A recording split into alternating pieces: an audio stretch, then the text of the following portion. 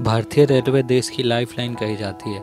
लाखों की तादाद में लोग रोज़ाना ट्रेन से सफ़र करते हैं। रेलवे के प्रत्येक स्टेशन पर उसके नाम का साइन बोर्ड लगा होता है, जिसके ऊपर हिंदी और अंग्रेज़ी के साथ साथ स्थानीय भाषा में भी स्टेशन का नाम लिखा होता है।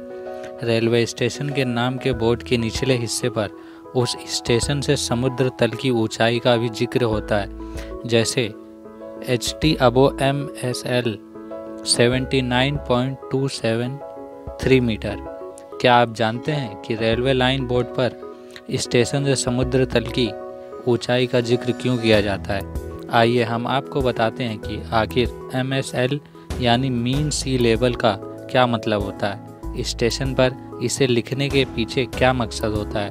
देश के लगभग सभी रेलवे स्टेशन के बोर्ड पर समुद्र तल से ऊंचाई लिखी जाती है।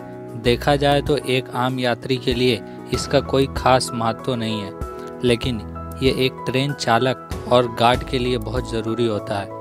रेलवे स्टेशन पर समुद्र तल से ऊंचाई का ज़िक्र ट्रेन के ड्राइवर और गार्ड की मदद के लिए किया जाता है, जिससे ट्रेन के ड्राइवर को इस बात की जानकारी हो सके कि आगे अगर हम ऊंचाई की तरफ़ ट्रेन को लेकर चल रहे हैं तो हमें ट्रेन की स्पीड कितनी रखनी है। साथ ही ट्रेन के इंजन को कितनी पावर सप्लाई देनी है, जिससे ट्रेन आसानी से ऊंचाई की तरफ़ चल सके। इसी तरह अगर ट्रेन समुद्र तल के लेवल से नीचे की तरफ़ जा रही है तो ड्राइवर को ट्रेन की गति कितनी रखनी होगी? वहीं अगर ट्रेन नीचे की ओर जाएगी तो ड्राइवर को कितना फ्रिक्शन लगाना पड़ेगा? ये सब जानने के लिए समुद्र तल की ऊंचाई, यानी एमएसएल लिखा जाता है। दरअसल इस बात को तो हम सभी जानते हैं कि पृथ्वी गोल है। इसकी वजह से पृथ्वी की सतह पर थोड़ा कर्व आता है।